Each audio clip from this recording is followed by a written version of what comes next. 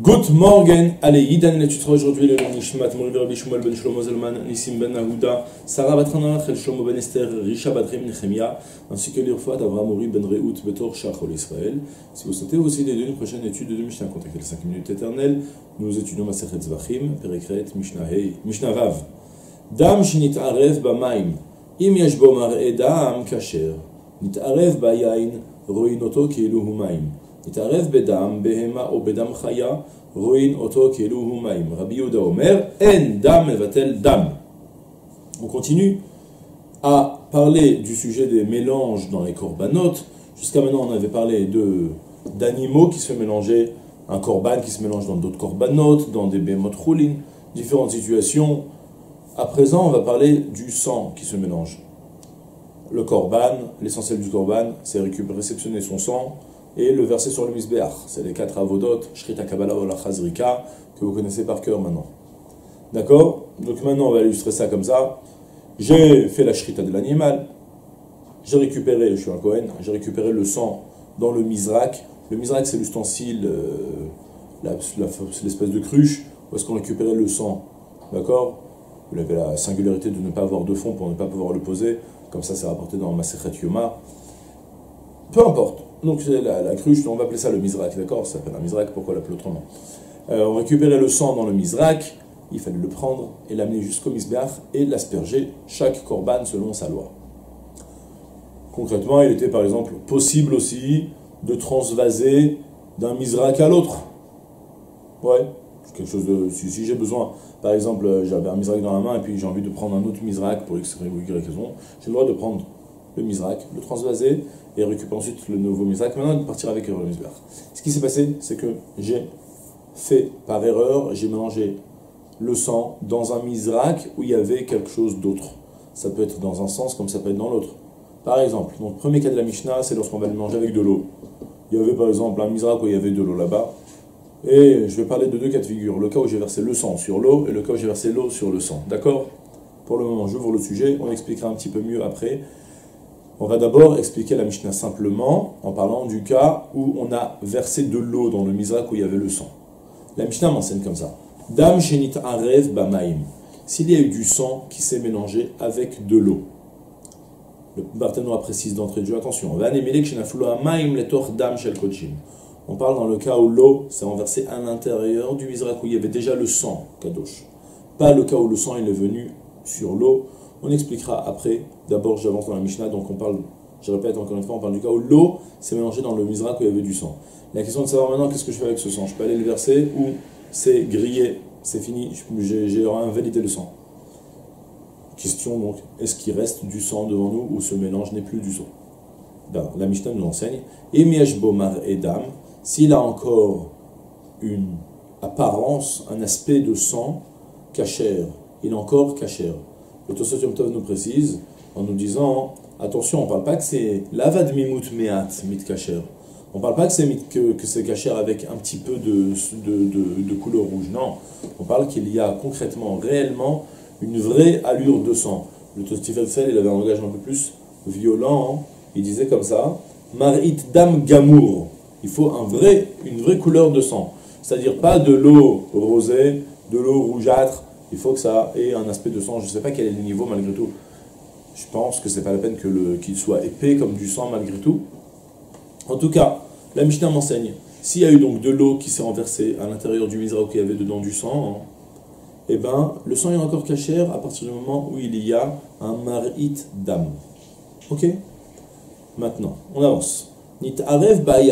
Ce qui se passe, c'est que maintenant, ça n'a pas été de l'eau qui est tombée dans le misrak, ça a été du vin. Or, le vin aussi, il est rouge. Parfois, il peut être même bien rouge, proche du sang. Donc, euh, vous avez apparemment un crédit plus grand pour mettre du sang sans pouvoir voir la, différence de couleur qu'il va, prendre. Alors, jusqu'à quel niveau Finalement, il va s'avérer, vous allez avoir ce mélange devant, vous. Vous allez le voir qu'il est rouge, mais vous ne savez pas savoir ce qu'il est rouge à cause du sang ou à cause du vin, en fait. Alors, la Mishnah m'enseigne, eh ben, bo, oto Eh ben, on va considérer comme si que ce vin n'était pas du vin, mais que c'était de l'eau. Qu'est-ce qu'il se serait passé? Est-ce que l'eau aurait pris le dessus pour affaiblir le rouge du sang, ou est-ce que le sang gardé encore sa couleur forte? D'accord? Donc c'est ce que ça veut dire, ro'in oto keilu. On va le voir, on va considérer ce vin comme si c'était de l'eau, et donc comment le sang aurait-il apparu ensuite, aurait-il paru? Nouveau cas de figure à présent. Nit'arev bedam behema o bedam chaya. Ce sang-là, qui était Kodesh, dans le Mizrak, il s'est mélangé ensuite avec du sang d'une vache, choulin, profane, ou d'une chaya, c'est encore une autre forme d'animaux, il y a les behemoth et chayot. Quand on apprendra choulin, on en parlera plus dans les détails. Pourquoi Il y a les, animaux, on traduit vulgairement, animaux domestiques et animaux sauvages.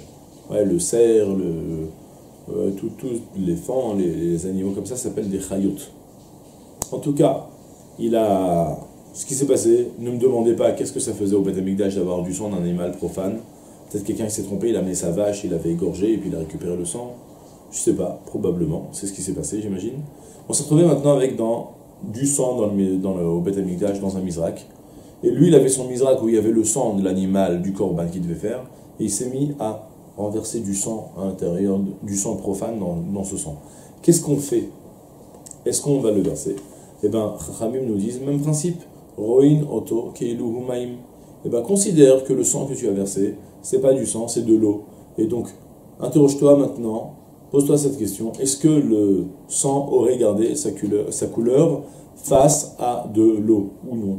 Si le mélange aurait gardé encore une couleur bien rouge, donc je considère que l'ajout de liquide que tu as ajouté n'affaiblit pas le sang qui était là, donc tu peux aller le jeter sur le misber. On ne parle pas pour le moment que le korban il était, que j'ai versé du sang d'un korban qui est devenu invalide. Ça, ce sera le sujet de la prochaine Mishnah. D'accord? Donc je reprends encore une fois, Nita'arez bedam behema ou bedam chaya. Le sang s'est mélangé, le sang du korban s'est mélangé avec un dam behema, le sang d'une vache profane, choline, ou d'une dame chaya, le sang d'un animal sauvage, Ro'in oto kehilu humaim. Eh bien, considère le sang ajouté comme si qu'il était de l'eau. Et regarde, est-ce qu'il y avait de quoi l'affaiblir ou non? A continué à me dire, Rabbi Yehuda Omer, non, en dam evatel dam? Rabbi Yehuda nous dit, non, sur ce point-là, je ne suis pas d'accord. C'est une grande discussion qui apparaît dans plein d'endroits dans le chasse. Que selon Rabbi Yehuda, min bemino lo batel.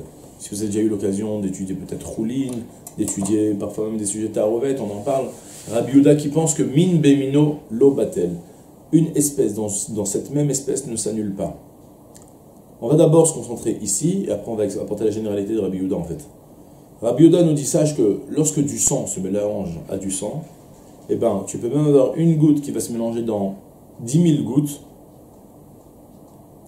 La goutte initiale ne s'est pas annulée étant donné qu'elle est dans, sa propre espèce, finalement, le sang, bah, tu as du sang devant toi. Et combien de gouttes de sang tu as devant toi? 10 000, une goutte. À la différence que si j'ai eu une goutte d'eau qui se mélange dans du sang, dans 10 000 gouttes de sang, aujourd'hui, l'eau, elle a disparu. Donc en fait, on va considérer ilratiquement qu'on a 10 000 et une gouttes d'eau, de sang. Même si c'était initialement de l'eau, une fois qu'elle s'est mélangée, elle a perdu son identité, elle est devenue du sang. Ça, c'est lorsque tu fais des mélanges d'espèces différentes. Mais lorsque tu mélanges la même espèce, alors, alors dans ce cas-là, dans ton mélange, au final, tu as 10 000 une goutte de, de ce qui s'est mélangé. Donc, il y a une halakha comme ça qui nous dit donc en dam evatel dam, min bemino lobatel, du sang n'annule pas du sang, donc on considère que tu as tout le sang, même si tu vas avoir finalement une énorme quantité de sang de vache profane qui se mélange dans le sang du korban, et eh ben tu pourras malgré tout continuer à aller jeter le sang, parce qu'on va considérer que finalement, dans tout échantillon que tu vas jeter, il y aura dedans aussi du sang qui va, qui va arriver sur le misbéach, sans qu'il se soit annulé. Par généralité, Rabbi Yuda va nous dire aussi qu'il en va de même pour les interdits. Lorsqu'on va avoir un morceau de viande qui va cuire dans de la viande, vous savez bien que pour la lacha, on va vous dire de calculer ce que vous avez 60 fois le volume de viande, qui, de cachère qui s'est qui, qui était là pour annuler le goût de viande interdit. Ouais, imaginez un petit bout de viande pas cachère qui s'est mélangé dans votre couscous et il y avait dedans 60 fois son volume, même si vous étiez en train de faire cuire 50, euh, 60 morceaux de viande et il s'est mélangé avec eux, ben vous pourrez, on vous dira que vous pourrez tout manger. Même c'est pas la peine d'arriver à 60 morceaux de viande, mais pour l'exemple, ça me suffit. Donc on va vous dire, ben, il y a 60 fois le volume, tu as le droit. D'après Rabbi Yehuda, Rabbi Yehuda il va nous dire non, non, pas du tout. La viande n'annule pas la viande.